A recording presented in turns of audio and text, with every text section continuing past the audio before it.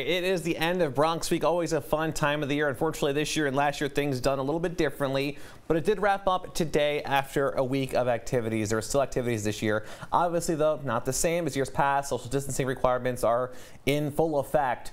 News 12's Katie Vasquez telling us how Bronxites celebrated this year at Orchard Beach.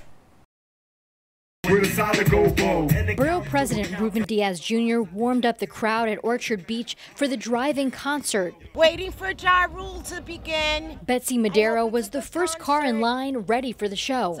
Um, it's usually at the bandstand, which is fine, but I think because of the COVID and the restrictions, they've set this up here with all the cars and it's very well organized, I must say. People had to stay in their car or wear a mask if they walked around.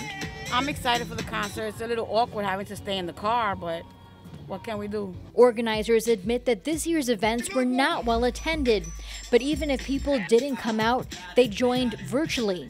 You know, we, have been going Facebook Live and Instagram Live, so we at least have the audience. At least people are seeing that we're celebrating, and they're celebrating with us and it's a wonderful thing. This year, Woodlawn Cemetery taking home the Bronx Tourism Award.